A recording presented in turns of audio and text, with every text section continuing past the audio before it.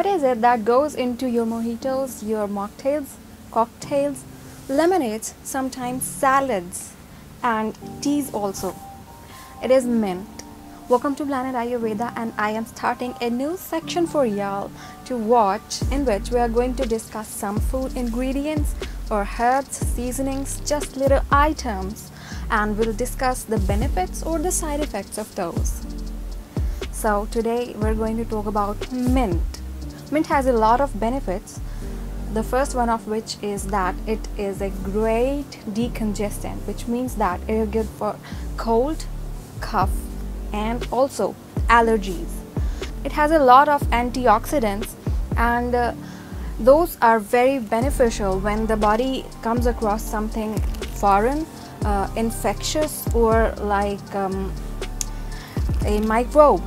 So that switches on its immune mechanism and in this way it helps flood away through the help of mucus and uh, protective fluids the foreign substance that is trying to come into contact with our body.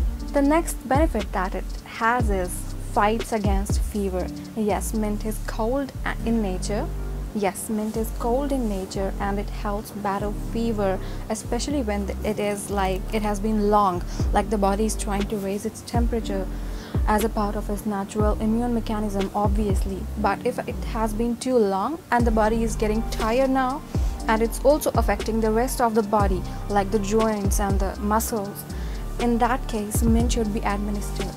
It also helps fight against headache it is like an instant relief for headache for some people. Like we had discussed if you have watched our video on digestion we had said that when the vata is disturbed in a person then it can also cause migraine or other kinds of headaches. So mint helps in those cases. Mint is mm, it is like fragrant and it smells so so good. So i hope you got the hint here and that is Chewing a few leaves of mint or a whole sprig can help alleviate bad breath and also maintains good oral health. It is also as good for bowel health. Yes, we put into our intestines so much of hot food, spicy, processed, fried things, so much of it, but we don't take care of it enough.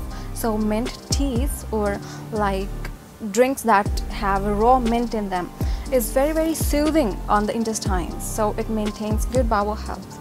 It is also as good for external application as it is for consumption. Yes, making a paste of mint with aloe vera, coconut oil or mixing it with any face pack that you DIY at home. It can help maintain great skin. It can also help ease sore throat.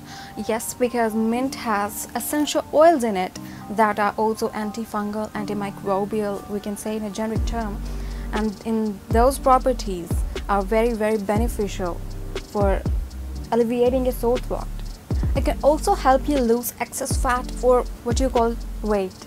Yes, mint teas, especially. I won't recommend to have mocktails made with mint, but yes, teas you can mix it in green teas or you can get I think there are some pre made packs also in the market right now that are helpful in maintaining great metabolism which leads to loss of excess weight.